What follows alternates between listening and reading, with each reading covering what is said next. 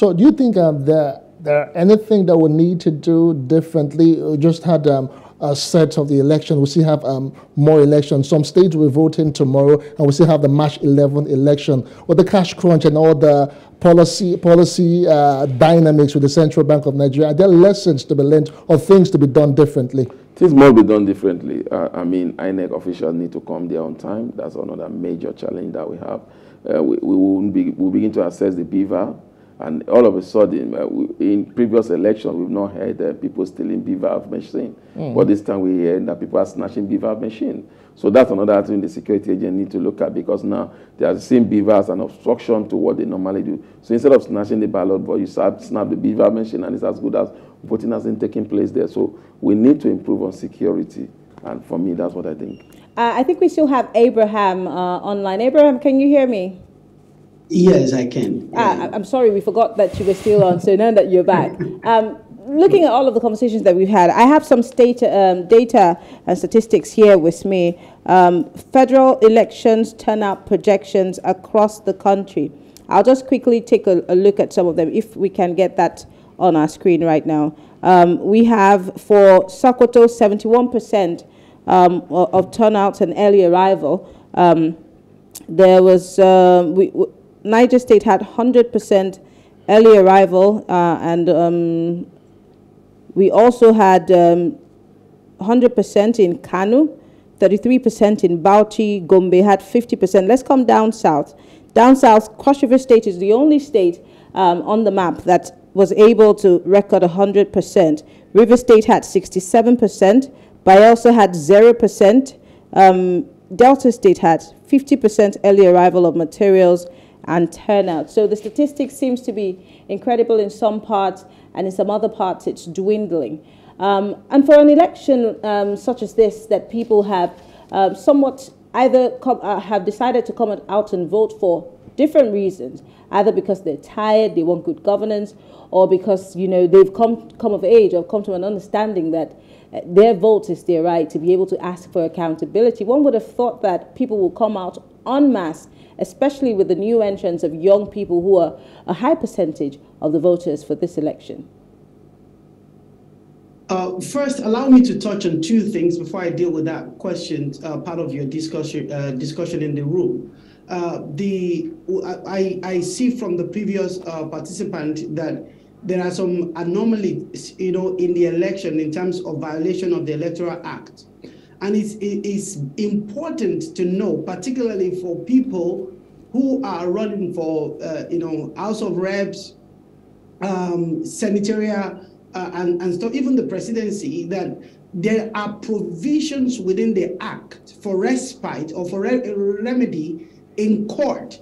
So if people and people that are still your viewers who are still watching at this uh, moment, who are at different polling units, have sufficient video evidence to say that uh, section 123, section 124, I think section 123 deals with offense relating to election, uh, any form of offense, and section 24 deals with bribery, and section 125 deals with undue influence. Section 126 deals with election offenses.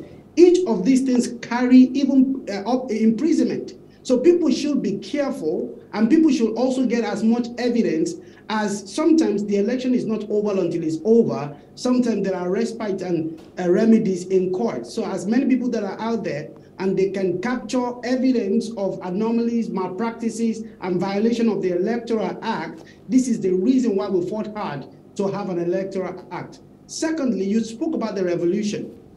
And in my view, it is very important that we have a change of mindset and regulate, particularly through the media, the languages that we use. Mm-hmm. I think what might be going on in Nigeria, what is going on in Nigeria, is an agitation rather than a revolution.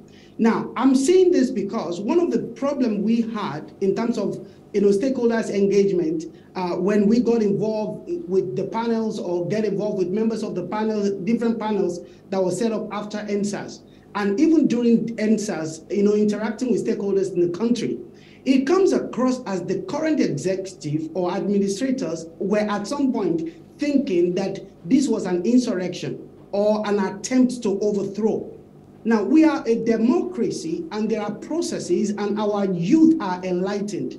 Uh, it is not necessarily that our youth want to overthrow our government. We're not going back into anarchy, but our youth are agitated because people are suffering. There are all kinds of things that are going on in the country, and people are expressing. So I see what is going on in Nigeria more as an agitation than a revolution. Because in a revolution, it's like we want to torpedo uh, the current system, we want to remove them by force. No, we are saying, or people are saying, or the youth are saying, that they need to cater for citizens. No, they need to obey at least Maslow's hierarchy of need and take care of the physiological need of the human being in Nigeria. Now, going back um, to your last question, in terms of voters' apathy, I doubt uh, very significantly that there will be anywhere, anywhere in the world, let alone in Nigeria, where there will be 100% turnout. And this, in some cases, might be uh, ways that political parties or members or, or, you know people that are on the ballot box, particularly House of Reps and stuff like that, may already write attendance record that is not even there. There is nowhere in the world where there will be 100% turnout because some people might die before the time, some people might be in hospital, mm. some hmm. people might just not be able to. And the election is not over yet for us to be able to categorically say that there is 100% turnout. But relatively, this election has come across to me as a successful one, like my colleague in the studio said. Thank mm. you. Hmm. Let me let me look at um, uh, some some researchers um, did a little. I mean, what I read out at first was projection, but then um, a few people who were in the field today were asked um, about, you know, um, the turnouts. First question was, did materials arrive on time? Um, well, 41%, uh, 41.3% people said yes. Um, 57, 58.7% said no. Um, is the turnout high or moderate? Well, 32.5% said it was moderate. 41.3% said it was high, and 7.1% said it was low. Also, the other question was that are there any insecurity issues?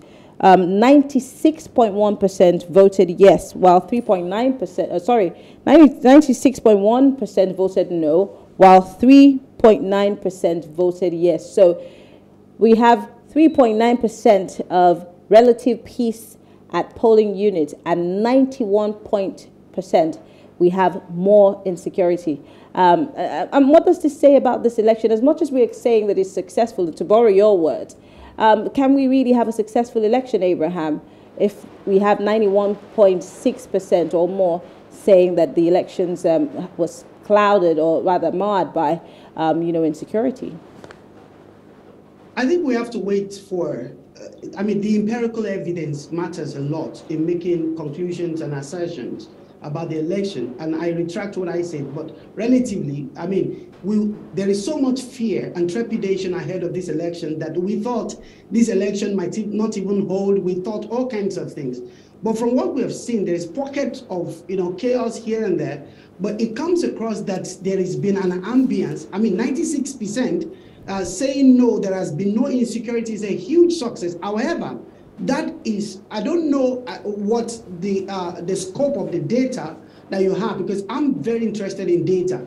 So if you have only pulled one or two polling units, that would not be sufficient out of 8,000, uh, uh, you know, uh, 200 and something polling units in the country. So we might want to have a broader, uh, that, that's an excellent job that your uh, station, uh, you know, has done, by the way. Oh, but uh, I, Abraham, I think it wasn't, we it wasn't, need that data so more across I'm board. sorry, Abraham. It's not Plus TV Africa that um, did that um, research. It's called. Uh, it's a, a, group of researchers called SBM Intelligence. So they gather intelligence from across the country, and their researchers are spread across the 36 states, including the FCT. So it would then matter to me again to see who they are, what their backgrounds is, if uh, they the data that they gather, how they, what kind of methodology do they use in gathering the data, and how viable are those data? Because in Nigeria, we are extremely frivolous about statistics. We're extremely bogus about claims.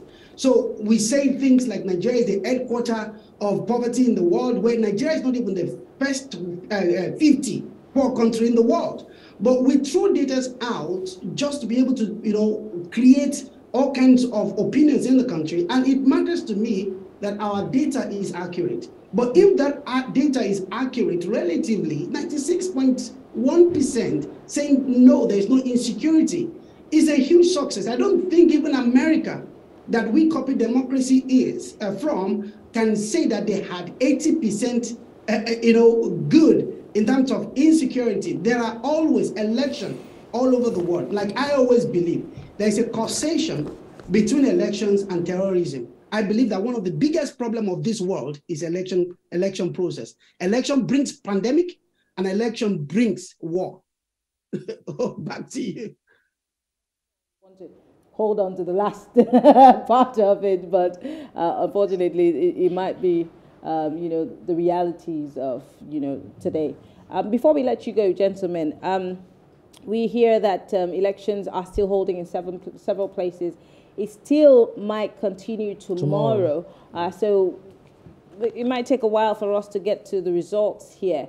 Um, but looking at the elections that we're going to have uh, for the governorship and state houses of assembly, what should INEC quickly learn from this process from today? You see, the problem is that we keep saying, what would INEC learn? This is not new.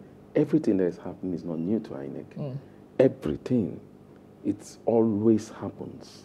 So there, there, must be something they are not doing well. Mm. They need to begin to improve on their logistic. They need to begin to improve on their security. They need to begin to improve on their movement of their sensitive materials. These problems are not new problems. So if something that is just jacking up new problems, then mm. you begin to uh, come in, uh, INEC officials come in late, and then people are not able to vote. Then they're staying late to the night. They don't make provision for, for, for, for, for power for them to vote. All these things are in existence. Remember, this is not the first election INEC. Most of the challenges that we're encountering, INEC told us that during state elections, those state elections, they've done a rundown of it. They even did a mock election and everything. So definitely the challenges are still the same challenges that we've been having since INEC is conducting election. So that brings me back to what I keep saying. There must be a system, there must be a procedures way, a way how you, you go about your elections. You need to come up with a procedure. Is it A, B, C, D? This is what you need to look at. This is our variable. This is our take home. This is our objective. This is what must be there. This, so all these things are not rocket science. Then mean INEC has a lot to do because whatever is happening now is not new. Hmm. All right. Um, um, maybe we should have um, one last word from Abraham the Great, uh, because uh, Mukhtar feels that um, INEC has been uh, with this process for years. Uh, they've conducted elections for a long time, and these uh, issues have been coming up um, over the years, and uh, it's not really new. Issues of logistics, issues of uh, moving sensitive materials. We had a guest earlier on. Uh, he he went historically and said FEDECO back in the day used to have their own vehicles. So these issues of a late arrival of materials would have been forestalled if INEC had their own vehicles and all of that. Do you agree? Well, I agree totally with my colleague in the studio. I think I, I more or less agreed with everything uh, that he has said today a very great man in the studio. Um, but but saying that, you know, in project management, we always say that there is no absolute, you know, there's no absolute project. You can we use different, uh, you know, system to be able to measure sex success.